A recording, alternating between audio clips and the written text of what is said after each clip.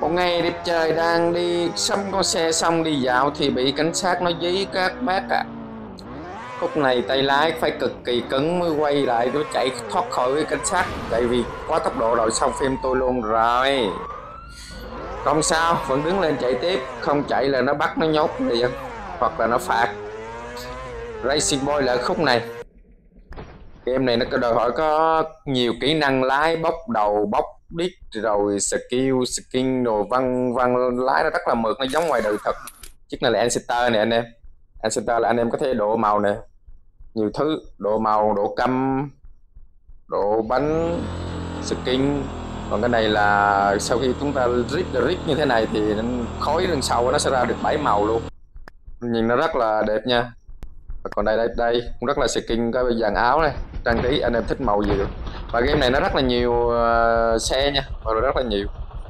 Game nhiều chế độ chơi nữa. Không những là khi các bạn chạy mà chọc vòng vòng chọc cảnh sát thì cảnh sát nó dí thì các bạn sẽ chọn những cái chiếc xe nào mà mạnh mẽ nhất dẫn nó đi vòng vòng. Mà xe cảnh sát nó chạy cũng nhanh lắm nha anh em. Mình phải chạy thiệt là kéo hết mức chạy đường phố phải lạng lách kỹ năng cao để thoát được cảnh sát. Và nó có những cái chế độ khác khi chúng ta tham vào những cái giải đua cùng những cái uh, tổ chức của cái game này nữa thì nói chung chúng ta cần phải rèn luyện kỹ năng lái xe hai bánh. Ở ngoài đời anh em lái sao vô vậy, ở ngoài đời mà chạy 50 thì vô đây chạy không được đâu. Phải chạy tức là mạnh lên, mạnh mẽ lên mới vô racing boy được nha. Mình quay video nó hơi bị mờ vì mình quay video chất lượng thấp. Anh em vào bật chế độ chơi game bật chế độ ultra lên cho nó siêu nét, nhìn đẹp nha.